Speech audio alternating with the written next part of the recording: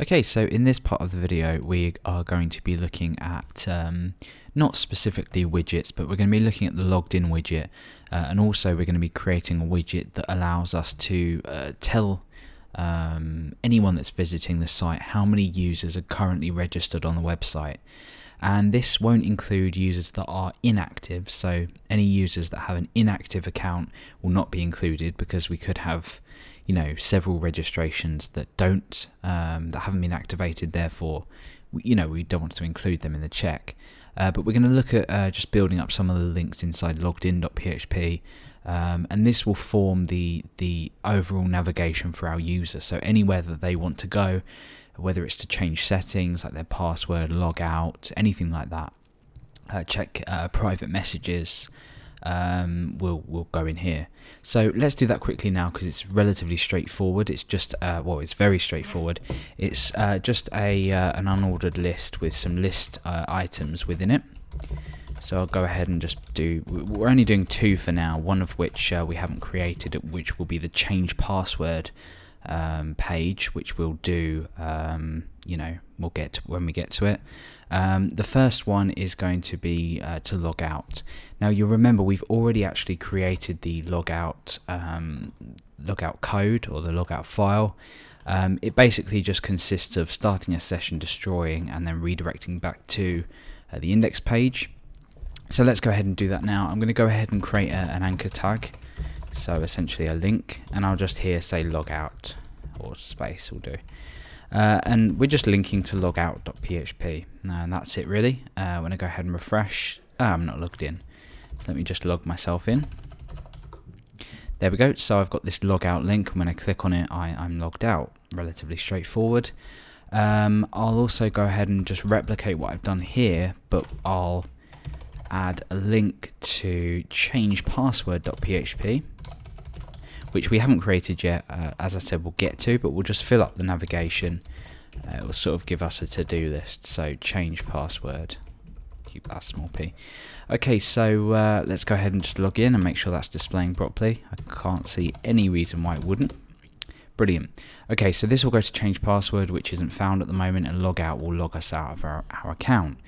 Okay, so I'm going to go ahead and log out. We're going to create a new widget now, and this is going to show us, uh, like I said at the start of the tutorial, how many users are currently uh, registered. This doesn't include users that are logged in, uh, but you know we'll get to that at some point later on. So uh, let's go ahead and create a new file, uh, and I'm going to call this uh, let's say user count.php. So user underscore count.php. Uh, and this is going to take the same uh, structure as this widget. So essentially I'm just going to copy this and paste it in here. So we've got the class, the outer class of widget, the header and the inner div and that's all we need. So we can remove everything in here. So this is the formation of our widget. Our outer container, our header and then our inner class or an inner container. So um, let's just go ahead and, and, sort of create the skeleton of this widget. We'll go ahead and create what we want to say, but we'll emit the actual value. Um, so I'm just going to say, um, uh, let's, I don't know what to call it. Uh, let's just say users.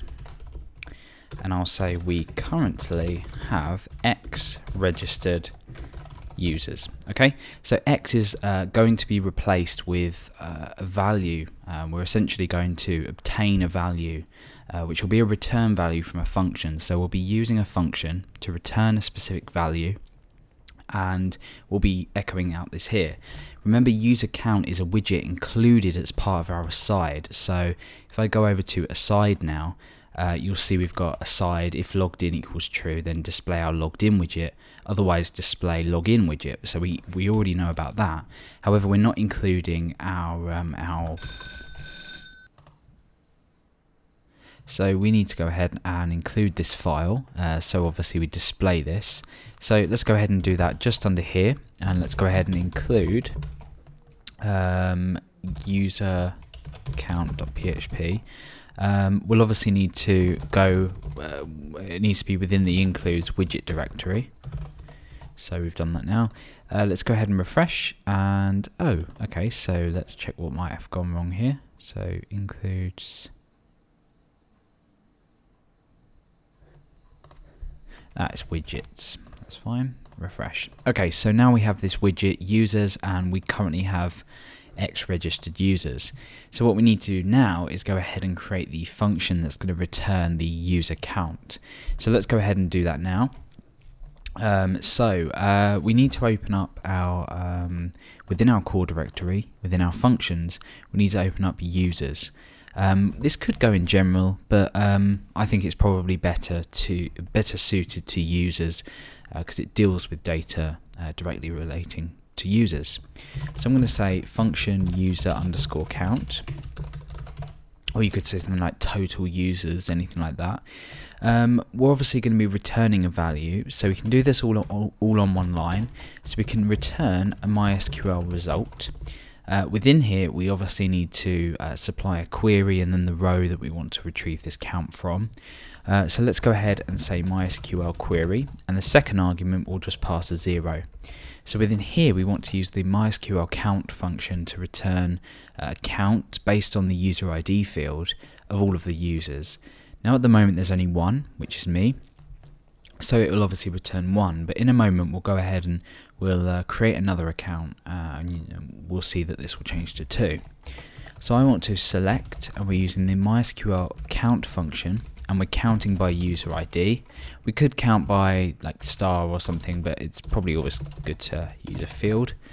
And we're obviously uh, fetching this from the users table and uh, we need our condition in here now because we want to say where the active state is equal to 1.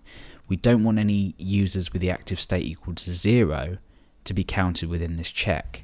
So I'm going to say where active equals 1. Okay, so um, that's it now. Uh, we're returning this number. Uh, so let's go ahead uh, and test this out. So within my usercount.php file, I'm going to go ahead and break into PHP where this X currently was, or currently I've just replaced, um, and I'm going to echo the result of the user count function. So remember, we're returning a value from this function, we're not um, echoing out. So uh, echo user count and let's go ahead and refresh and you see we currently have one registered users. Now we've got this problem here where we've got users but we can uh, solve that in just a moment. I hadn't planned on doing so but we can go ahead and do this. Okay, so first of all, let's go ahead and create another account and obviously see how this changes. So I'm going to go ahead and uh, hit the Insert tab. Uh, let's go ahead and create a new user account. So I'm going to just choose the uh, name Billy, we will apply the MD5 function to this password. Um, first name we'll say Billy, and then we'll say Garrett. Email we'll just make up, so billy at phpacademy.org. And active I'm going to set to um, zero. Uh, let's go ahead and uh, submit this. And when I refresh, you see we have one registered users. That's obviously, you know, what we the result we were expecting because we've got the active state for this user set to 0. So let's go ahead and edit that and change that to 1. Click go, come back to our site and refresh and you see this changes to 2. Now obviously the uh, the suffix on the end of this word, the, the users is uh, correct in this case because it's more than one. Uh, so what we want to do is we want to um, create a condition that, that you know, uh, allows us to um, allows us to either insert the uh, S or not. So, um, you know, this isn't entirely necessary. It depends on how you're wording it, but I'll, I'll go ahead and do this now. So I'm going to say suffix equals, and then in uh, brackets here is going to be my condition. Uh, after this is going to be um, a string, otherwise another string. So what I'm going to do is I'm going to say um, up here, I'm going to create a variable called user count and this is going to be equal to the result of this function. And that means we can use this variable in this condition to determine whether to put an S on the end, and then we can just go ahead and echo out user count here. So I'm going to say if user underscore count doesn't equal, uh, or uh, we could say doesn't equal 1, so if it doesn't equal 1, we can add an s on the end. Otherwise, we just keep this as a blank string. So uh, as far as that goes, that's not really done anything because we're not actually doing anything with this suffix. We're not outputting anything. So I'm going to get rid of the S and I'm going to break into PHP. Remember with no space here because we just want it to uh, echo out. And I'm going to echo suffix. And it's as straightforward as that. When I refresh now, you see that we've still got the S on the end here. Um, and that's obviously to be expected. However, if I go ahead and I set this um, to 0, click go, come back and refresh, you see that this has changed to 1 and the S has disappeared. So this is a really neat, uh, not trick, but a really neat uh, method of, of detecting whether an S should be on the end of a, a word. Okay. So, um, in this part of the tutorial, we've dealt with the user count and more importantly, just added some links into our logged in um, include here. Uh, so, um, in the next part, we're going to be dealing with something that's a lot more complex, but uh, if done in the correct way is going to, you know, uh, be a lot easier to maintain, and that is the registration page. And we're not going to do this as in, you know, static fields. We're going to do this uh, slightly more interestingly. So I'll uh, I'll see you in the next part.